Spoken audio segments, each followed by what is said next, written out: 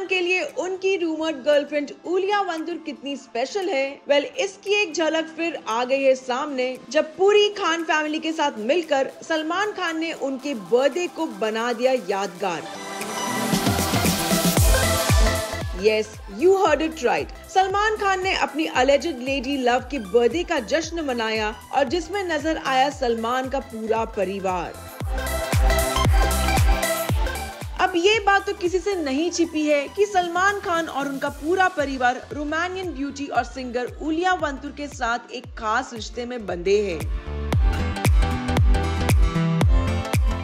उलिया, जहाँ खान फैमिली के हर छोटे बड़े इवेंट का हिस्सा होती है तो सलमान खान और उनका परिवार भी उन्हें स्पेशल ट्रीटमेंट देता है। ऐसे में जुलाई 24 को उलिया वंतु ने अपना 44th बर्थडे सेलिब्रेट किया और इसके फ़ोटोज़ इंटरनेट पर वायरल हो गए, क्योंकि इस खास दिन पर सलमान एंड फैमिली उनके साथ थी।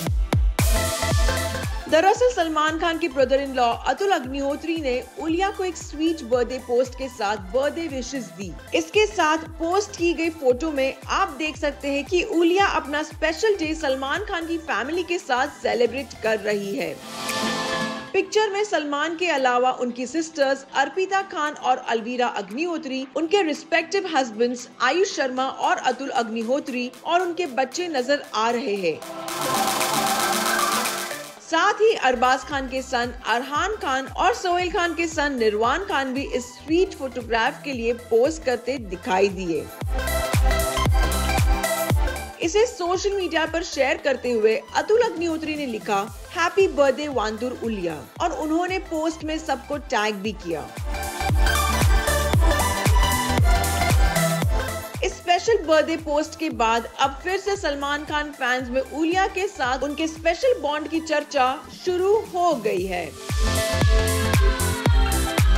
वही सालों पहले उलिया मंदुर अपने एक इंटरव्यू में कह चुकी है कि वो और सलमान खान म्यूज़िक पर बॉन्ड करते हैं, जब उनके पास स्पेयर टाइम होता है।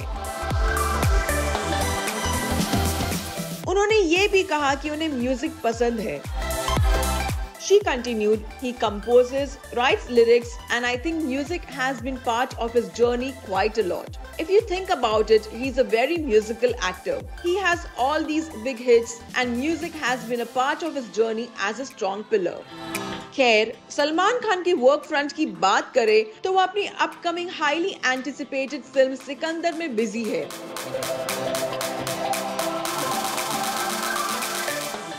आर मुर्गदास के डायरेक्शन में बनी ये एक्शन एंटरटेनर साजिद नडियाडवाला के द्वारा बैक की गई है और इसमें रश्मिका मंदना, प्रतीक बब्बर और सत्यराज इम्पोर्टेंट रोल्स में है। ये फ़िल्म अगले साल ईद 2025 पर रिलीज़ होने वाली है। इसके अलावा सलमान खान के पास किक टू बी पाइपलाइन में है।